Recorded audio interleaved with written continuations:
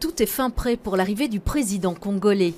Sa visite au gouvernement bruxellois est importante c'est qu'il a passé la moitié de sa vie dans la capitale. L'invité est doublement de marque. J'ai des membres dans mon parti au mouvement One Brussels à Bruxelles qui le connaissent, qui sont euh, euh, actifs dans son euh, mouvement. Ils étaient toujours que c'est un homme chaleureux, un homme qui connaît d'ailleurs très bien Bruxelles et la Belgique. J'espère quelqu'un ouvert et quelqu'un qui a un intérêt de collaborer. C'est la raison pour laquelle il a choisi la Belgique pour première destination comme visite d'État. Le voilà qui arrive avec plus d'une heure de retard. Qu'importe, le président est accueilli chaleureusement. Quelques poignées de main plus tard, l'atmosphère est vite détendue. Félix Tshisekedi fait une révélation à Rudy Vervoort. Ben oui, j'ai habité en 2006, je pense. Euh, non, 12. Il a donc été son bourgmestre, une dimension supplémentaire au lien que nous, République démocratique du Congo et Belgique.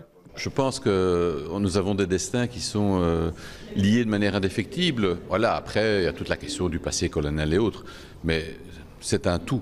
Et je pense que euh, au-delà de, ce qu'il a pu y avoir de négatif, il y a aussi beaucoup de choses positives et des liens forts qui demeurent entre, entre nos deux pays.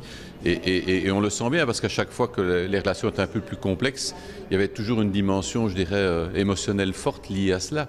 Ce qui montre bien que ce sont des relations qui euh, demeurent et perdurent depuis l'indépendance. Et même si la rencontre n'a duré que 30 minutes, le cadeau remis au président lui rappellera symboliquement son appartenance à Bruxelles.